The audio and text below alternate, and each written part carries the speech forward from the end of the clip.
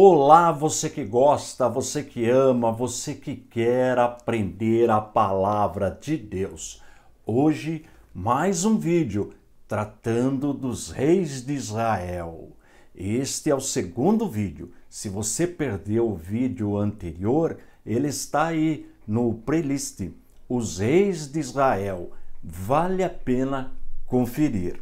E se você ainda não é inscrito no nosso canal, faça a sua inscrição e dá um toque no sininho. Assim, sempre quando eu disponibilizar um novo vídeo, você já é avisado. Aproveite, dá um joinha aí, um likezinho para incentivar o professor, faça seu comentário, todos os comentários são respondidos. E nos ajude na divulgação do nosso ministério, que tem como objetivo primordial o ensino da poderosa palavra de Deus. Agora chega de moleza, vamos trabalhar.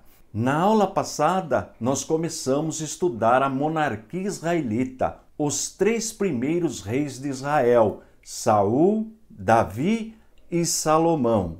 Aprendemos que cada um governou 40 anos, somando 120 anos. Portanto, a duração do Reino Unido foi de 120 anos, porque após a morte de Salomão, o reino foi dividido, que é o assunto da aula de hoje.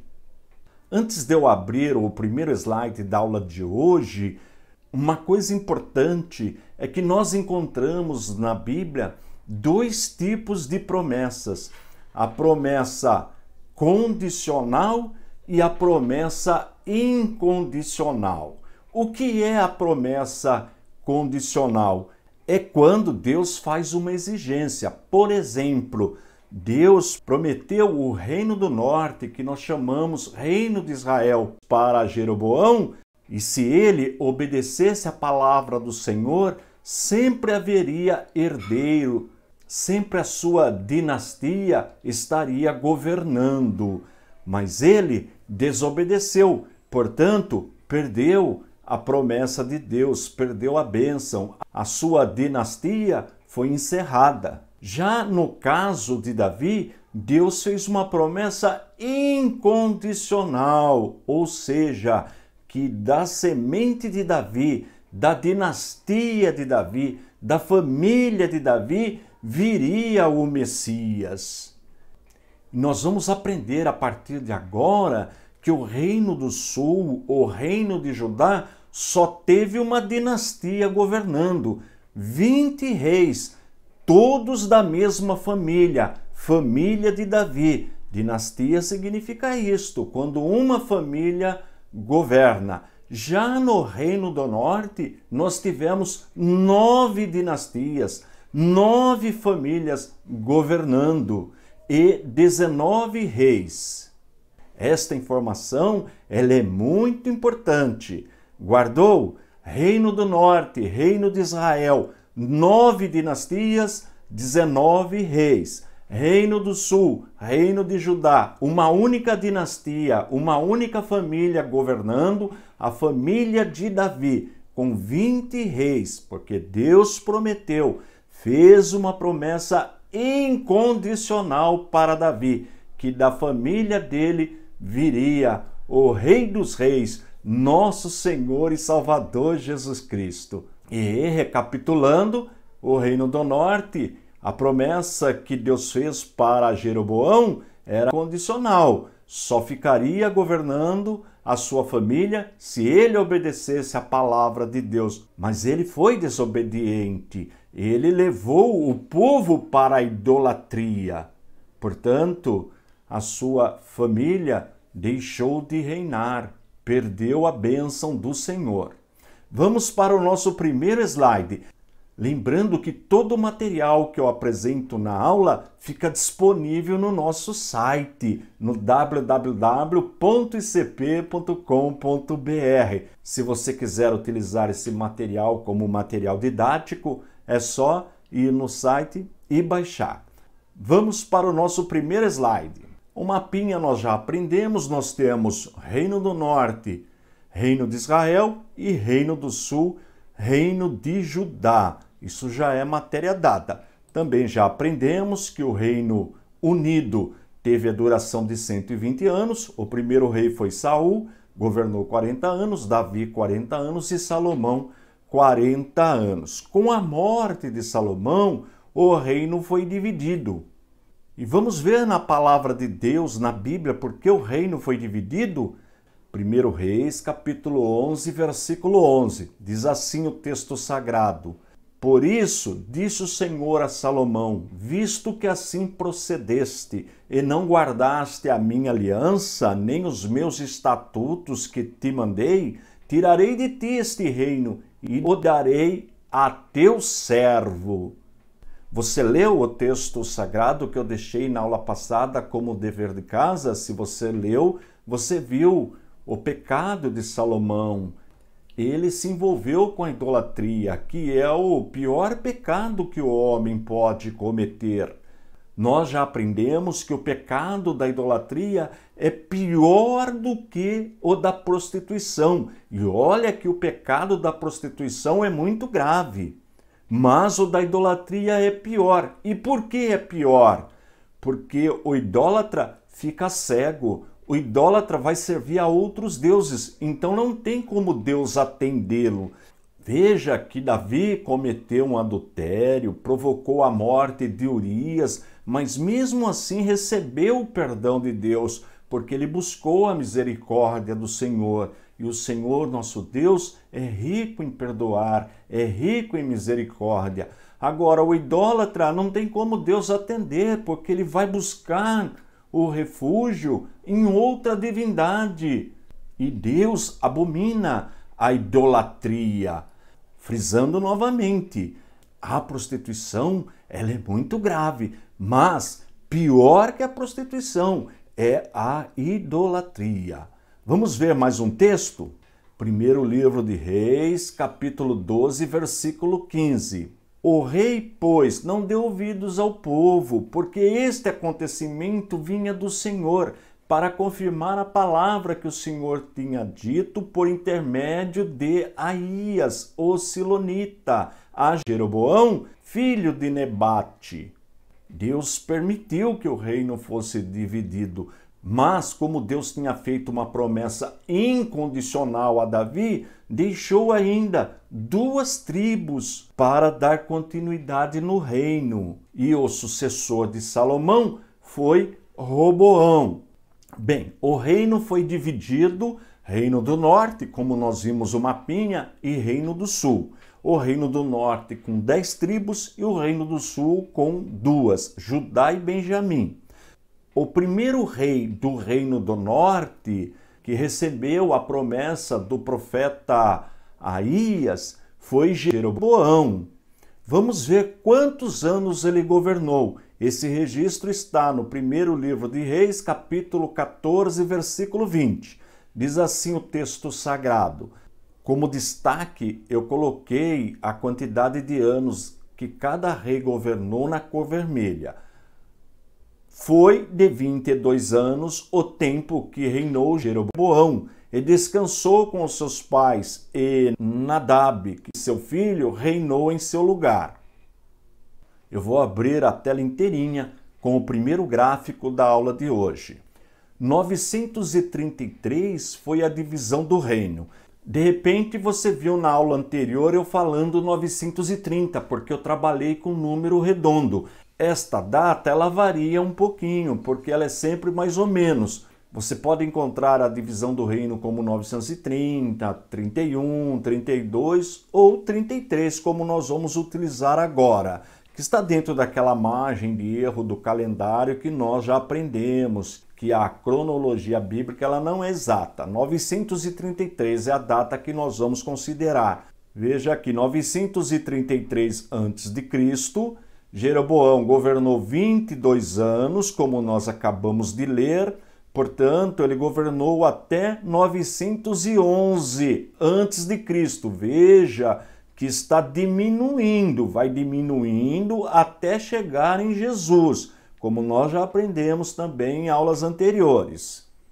Deixa eu voltar.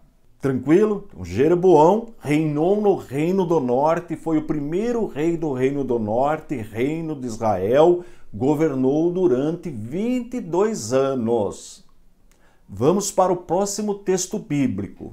1 Reis, capítulo 14, versículo 21. Roboão, filho de Salomão, reinou em Judá. De 41 anos de idade era Roboão quando começou a reinar, e reinou 17 anos em Jerusalém. Portanto, ele é um rei do Reino do Sul, filho de Salomão. Reino do Sul, Reino de Judá. São duas tribos, Judá e Benjamim. Vamos para o nosso gráfico. De novo, divisão do reino, estamos considerando 933. Lembrando que é uma data aproximada, os 22 anos do reinado de Jeroboão, que nós já aprendemos. Ele reinou até 911. E Roboão, que nós acabamos de ler, reinou 17 anos. Portanto, reinou até 916 antes de Cristo. Reino do Norte, Reino do Sul. Com este gráfico, nós podemos perceber que eles eram contemporâneos. Enquanto um reinava no sul, outro reinava no norte. Veja que Roboão morreu e Jeroboão no norte, reino de Israel, continuou governando. Eu fiz essas colunas respeitando a proporcionalidade. Então veja, passando uma linha aqui na horizontal, nós conseguimos perceber o quanto ainda Jeroboão governou após a morte de Roboão. Vamos voltar. Tá entendendo? Nós vamos com calma vendo quem era contemporâneo de quem. Isso é muito importante. Muitos alunos, pessoas até já formadas no curso de teologia, têm dificuldade para entender este período. Por isso que nós vamos com muita calma para não ficar dúvidas. Vamos para o próximo texto bíblico.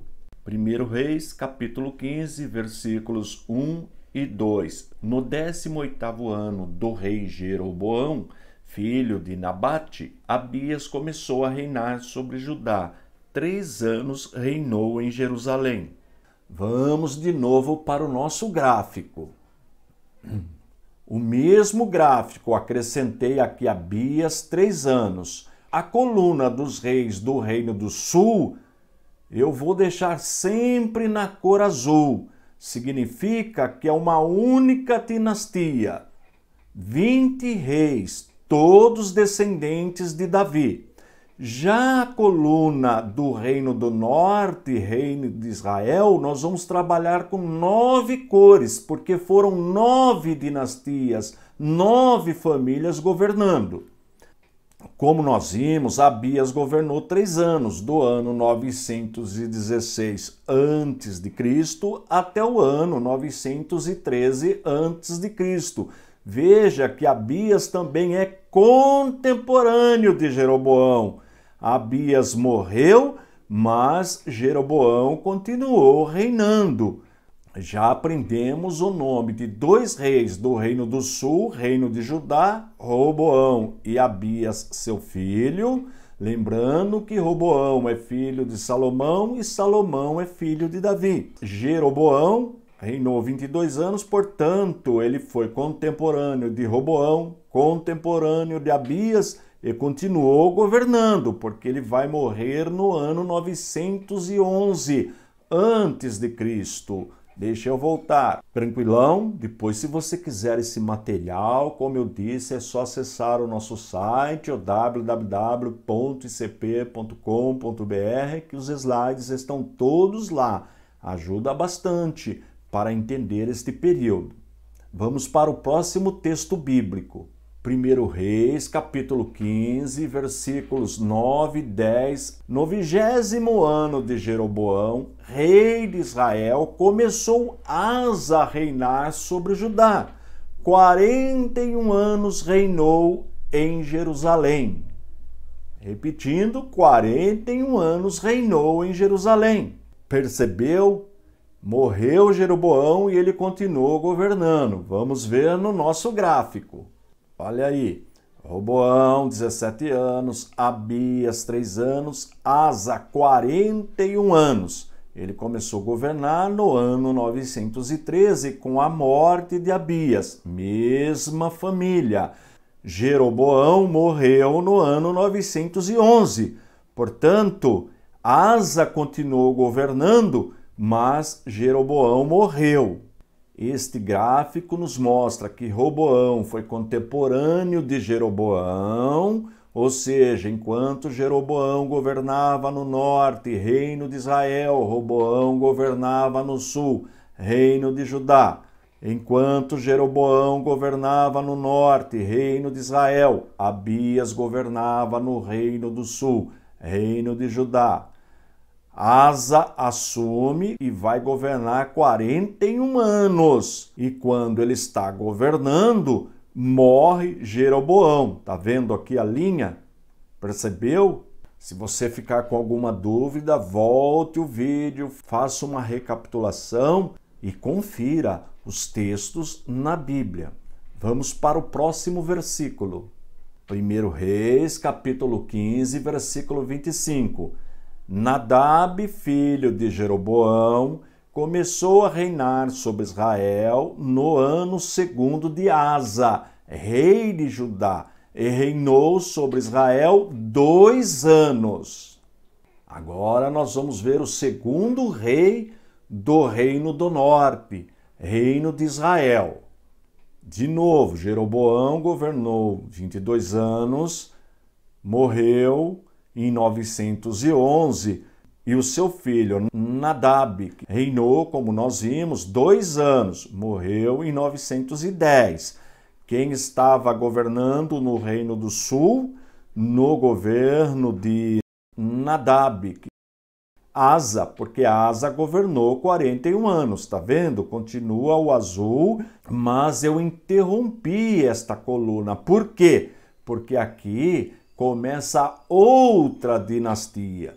A primeira dinastia do Reino do Norte teve dois reis: Jeroboão, que governou 22 anos, e Nadab, que governou dois anos. Tranquilão? Deixa eu voltar. Agora, como eu fiz na aula anterior, eu vou passar para você o dever de casa. Você vai ler os textos onde conta a história de cada rei que nós aprendemos hoje.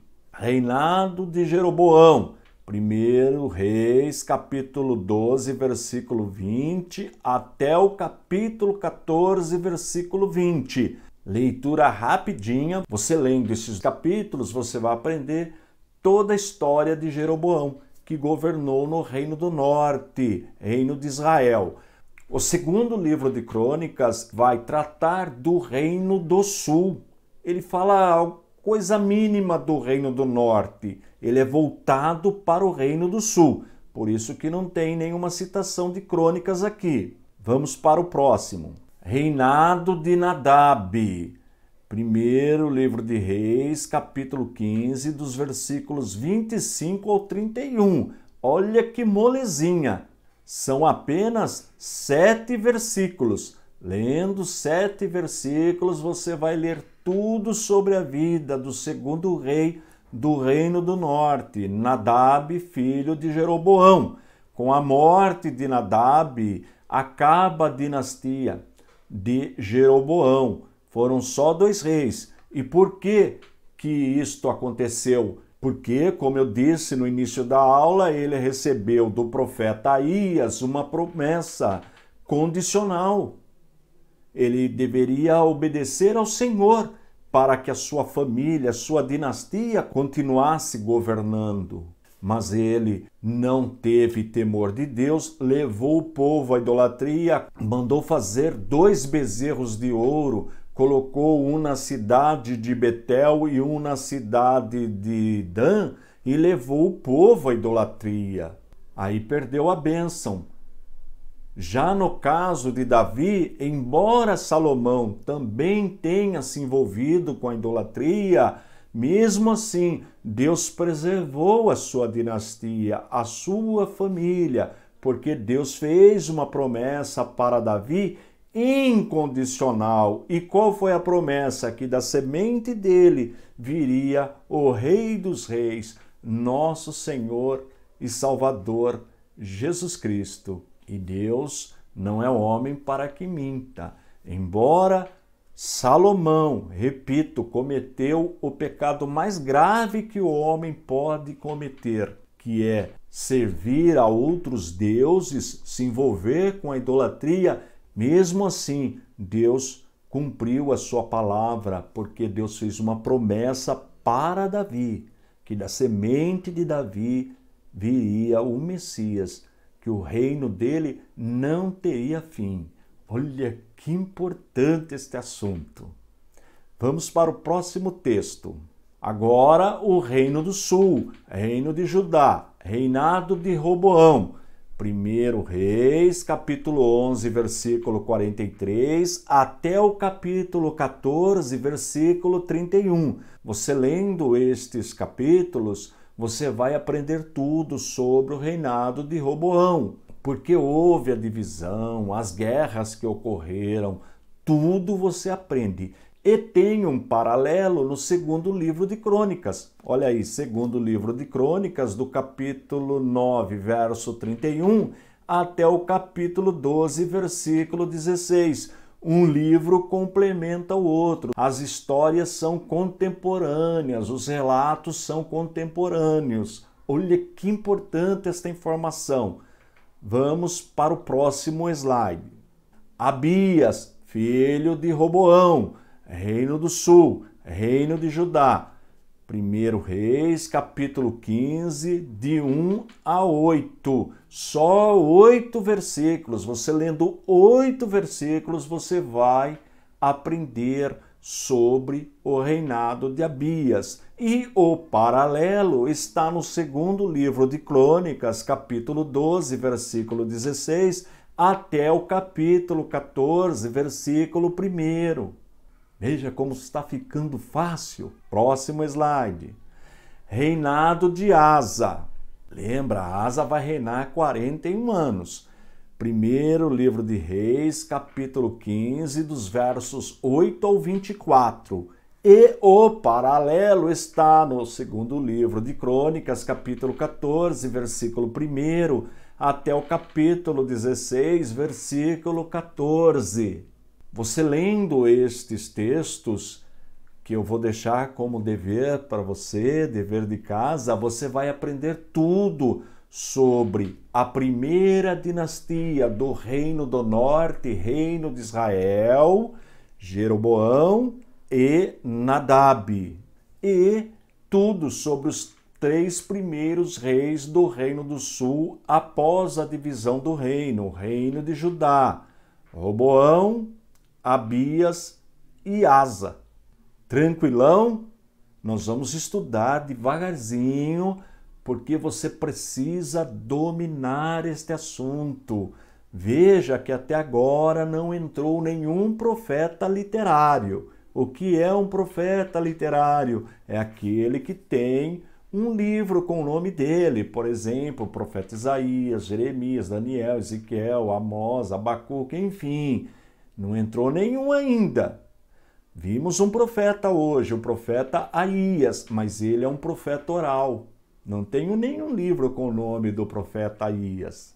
Natã, Aías, Elias, Eliseu são classificados como profetas orais, porque não tem um livro com o nome deles. Livro do profeta Elias não tem.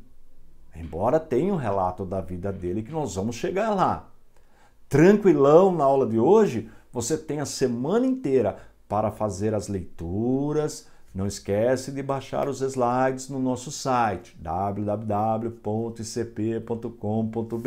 É sem custo. Baixa, vai trabalhando, você vai ficar especialista neste período. Como eu disse, muitos até já formados em teologia têm dificuldade para entender este período da história. Antes de eu me despedir, deixa eu pedir um favor para você. Nós já estamos com quase 92 mil inscritos no canal. E o nosso desejo é chegar em 100 mil inscritos. Você pode me ajudar?